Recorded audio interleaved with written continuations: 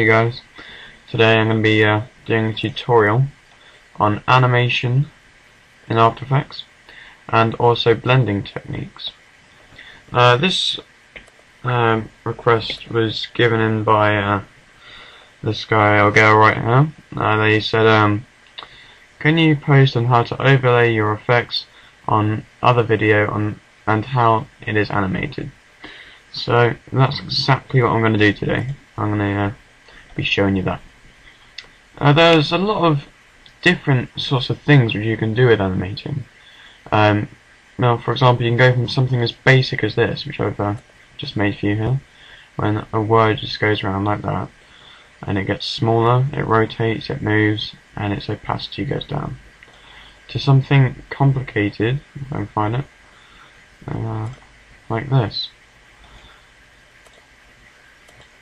There is so much that there there is a difference for. You can change so much just with um, you can see all this. This is all animation. All these little sort of uh, diamonds there are or circles. This is all animation. Um, might look complicated to you, but honestly, once you sort of get the gist of it, it's really easy. It it just comes naturally to. Um, Here's another example of that. Let me show you. Now this is a good example of blending techniques. We've got sort of like an explosion of some kind. And that's sort of blended in. Um, let's let it run through for a little bit. You've got all these sorts of sparks and lines and they've all been blended in as well. And they've all got their own sort of blending technique which I will also show you. See, you can see uh, all these sort of swirling around. Like so and these have all been blended. Um, instead of the word blended I like to use the word composited because it makes uh, to me that's what I do usually. I composite videos and this is basically what I'm covering today. I'm covering compositing and making things look as though they're there or more sort of organic. Um, so uh, for example I'm just going to give you a quick demonstration of animation. So let's say that we start like this. You know, this we just got a, some text. I'll show you how to do that. Delete that. Um, click on the text tool, type something in.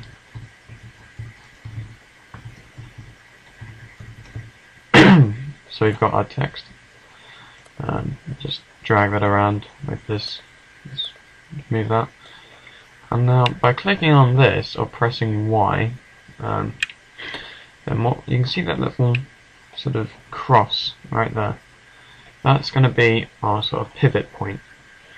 So you want to uh, a pivot point. In a sec. Let me just get the rotate tool. Is where it's going to rotate from. So if the pivot uh, the pivot tool was in the middle, and I rotated it, it would go from the center. So I mean, um, which might leave that. Um, so yeah, so the pivot point's in the middle. Um, let's start off with the word there. Um, then what we're going to do is if you press P, then you get the precision. And then if you hold shift, you press R, then you get the rotation. You shift and press T, just holding down shift. And you hold shift, and then you press S, and you get, so then you get T is opacity, R is rotation, S is for scale, and P is for preci uh, precision. Uh, precision. Oh, ah. um, anyway, right. So you know it's still plain. We haven't done anything yet, but you, you might notice these stopwatches down the side here. These are going to be what's animating our clip. So when you click on this, it's going to remember what um, sort of numbers they are at this time on this frame, which is 0, 0, 0, 0. Um, so we're going to do that for all of them. So it's remembered all these numbers for this point in time. And if we move forward to one second, and then if we move it, you keep your eye on the position numbers, you'll see the numbers change, and it's it's recorded now. Save those numbers at that keyframe It. Just automatically adds a keyframe. and what it automatically does is it um, is it makes a keyframe and it motion tweens it. And that's when it comes you see these little little dots? That is uh, for each frame its position. Its ah position. That's the word I'm looking for. Um, so if you see there it sort of connects them together and it moves smoothly between them and now we if we uh, you can also change the scales to keep your eye or you can even just drag these numbers and it will change um, so you don't actually have to drag the corners, which you can do here. I'm holding shift to keep it shape, otherwise I'll do this. Hold shift. Yeah, I'm going to keep 100 with that. Um, and you've got the rotation. This is the angle that it's at. And this is how many times it rota it's rotated already. So if you keep your eye on this bit right here, you see that the number goes up from 0 to 1. No. And that's because it's gone round once. Okay? So I'll show you what that's useful for. So if we move over to uh, doing all the keyframes, um, we, if we change this to 1, then it will rotate around one time. Okay? Alright. Now the opacity, opacity pretty basic, goes from 100% opacity to 0%. It's basically how see-through it is. I don't know what opacity is. Um, yeah, so that's, that's that. Um, now compositing um, is kind of my speciality in After Effects and uh, making things look more real. So one of the things which we can do is we can add a motion blur.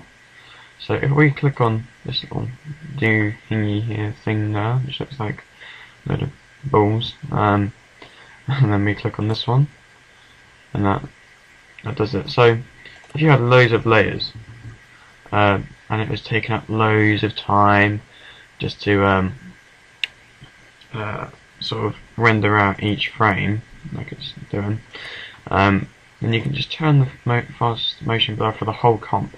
This is the composition. And then you know it doesn't take as long. And then you can turn it all on. I think when you run when you render it it turns it on automatically though so that's pretty good just in case you forget to turn it on. Um, so if we have a look at that you can see. That sounds like a little bit better. But let's say I want this to be a bit smoother so it doesn't have a sudden start and a sudden stop well a good trick for that let's just highlight all our keyframes, is you press F9. Okay? Okay, that, that, won't work whilst I'm recording. um, but you can right click, keyframe assist. I think it's. I haven't done this without. There we go, it's easy. Uh, easy ease. Yeah, F9, there we go. So you can see it slowly starts and then it slowly stops. Alright, Now if I just get a texture for us, just pause this. Okay, so I'm just going to drag a texture in here. Okay, once that's in, I'm going to drag that underneath my text. And we've got a sort of wood texture. Okay. So, you know, definitely, you know, uh, if I want to make this text look as though it's sort of part of the word or it, you know, it just seems more sort of connected to the image, doesn't seem so not attached to it. Um, if you look here you can see mode. Mode, yeah. If you can't see it, it's um, it'll probably be like that or like that. So there's two buttons down here, which is this one and this one which bring up these two. Uh, so this is the uh, transfer mode. That's the one. Um, that's what this is, and uh, so it's set on normal at the moment. And um, down here it has alpha add and luminosity. Blah blah blah. We don't really need that. I, I don't usually need that. Um, can't see it. Um, so if you want to use it to make an image brighter, you use add. and that's actually made that image brighter through that text. Or I'd recommend using something along add or screen um, when you're using things like the Chidori effect, which I was going on about here. I think that's actually what I did in one of my other videos. Hang on a sec. Hang on a second.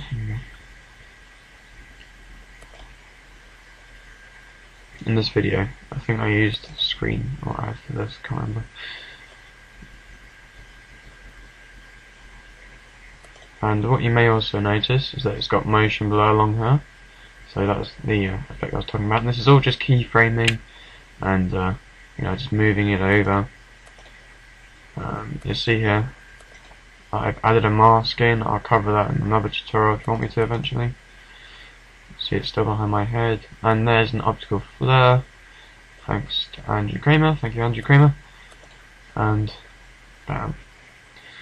But yeah, that's, that's all including things like motion blur and using things like screen and all that jazz. Um, I mean, what I recommend is that you're just playing around with them and seeing which transfer mode you like.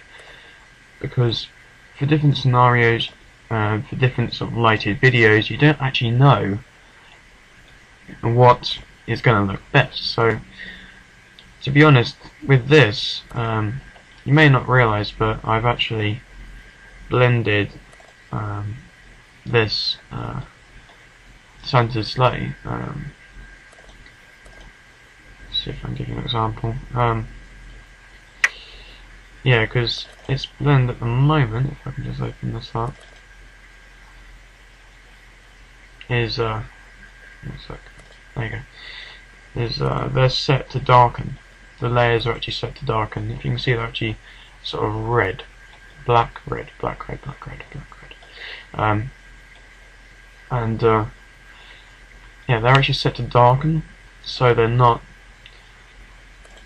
uh, they're not completely, you know, just taking all the colour out of the image. They're sort of blending with it a bit more, and that also allows this sort of grainy effect from the Dark Knight, uh, you know, because it was dark to actually go through it, which um, which really makes it feel more part of the video.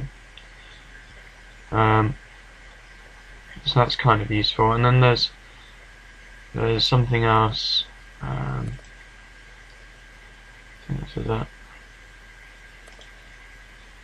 I'll just load.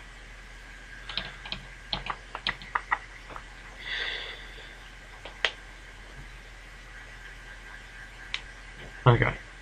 So you can see that it doesn't blend perfectly here. Um, you know, it's still got a few of those bits coming through here and there. And uh, I've got some particles over over that. That's the point. Um, so if I turn it on,